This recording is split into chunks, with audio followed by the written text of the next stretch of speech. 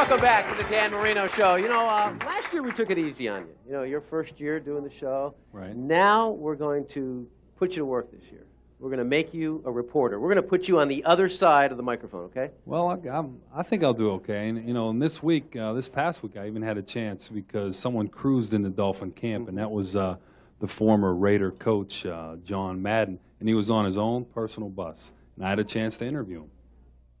John, what do you uh, what do you think the chances of the Dolphins are this year? So last year we had a difficult year, six and ten, but everybody's positive down here. What do you think your personal opinion of the Dolphins is? I think it's all up to you.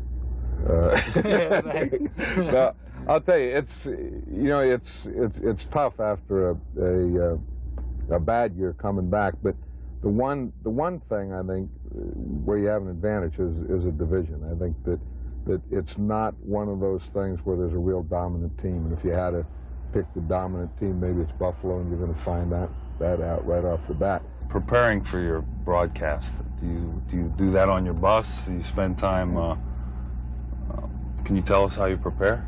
Well, what I do is is because I don't fly. Uh, I started off. I haven't flown since 1979, and and I developed claustrophobia, and so I started taking the train, and then that got to be tough. So now I have the bus, which is really the way to go, and the bus is completely self-contained. So you know we can eat here, sleep here, uh, shower, bathroom, bedroom, everything. So we can go right on through.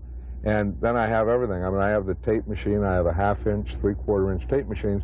So what I do on the bus is I do all the, the reading and studying, and then I get tapes of the last game. Any uh, idea how many hours you spend on the road per, per year?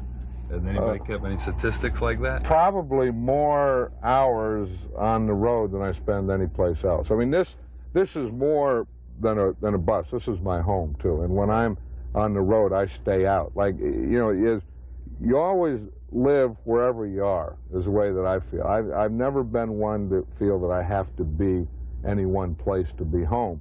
So if I'm driving, then this is my home. Do you ever have uh, any desires to still coach again? No, those at all? those went out the window a long time ago. In fact, I was talking to your coach today about how amazing it is and how he can stay in it. I mean, he says he just he still enjoy, enjoys it, but of of all the coaches in football, uh, there's no man that I have more respect for, and that was when I was coaching too. I always said that you know Don Shula was the best coach and the best guy, and uh, I still feel that way. And I was able to do it 10 years. And after 10 years, I just didn't have any more. I just couldn't do it. John, I have my own show and I'm trying to get good at this kind of thing. Can you give me any tips about broadcasting? Just keep doing it the way you do it. Just be yourself. That's that's the thing I think that gets more people in trouble in broadcasting. And I don't mean to say I have any answers. I really don't. But as I watch people, it's where they're not being themselves. They try and be someone else. You know, they try and they're going to be a you know a hairdo or something. And uh, I think you just have to, you know, whatever you are, you are who you are, and and you just uh, let it go. Just don't worry about the horse being blind. Just load the wagon. Don't worry about the horse being blind. Just load the wagon. I can't figure that one out. now, now, I know you were taken by that. Are we going to be looking for a Marino cruiser?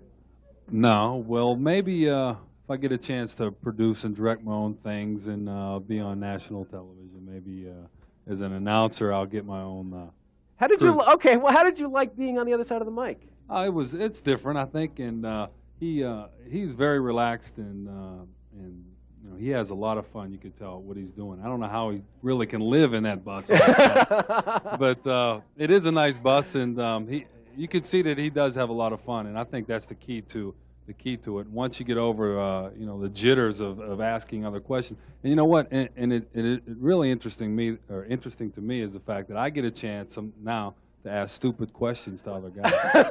well, they're not all stupid. Well, you see, now you joined the club, right? all right. Now, I also we told you earlier that there are going to be some new wrinkles in the Dan Marino show, and um, I understand that you are also going to be a producer and a director.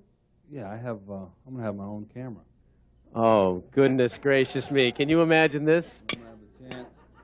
Gonna have a chance to film you Oh, goodness. and everybody else. And you're going to get a chance to do some behind the scenes stuff for us. Oh well, we'll see. Maybe We'll see, you. how it goes. Maybe see know. you playing golf with Jensen or uh, you know some Maybe that's that's a possibility. Yes, it is. All right. We'll see how it goes. Why don't you try shooting some of the audience? And while Dan is taking I some shots shoot the here, Food. okay, shoot the food. While Dan is taking his shots of the food in the audience, we will take a break and be right back to conclude the Dan Marino Show here at Bambino Doro.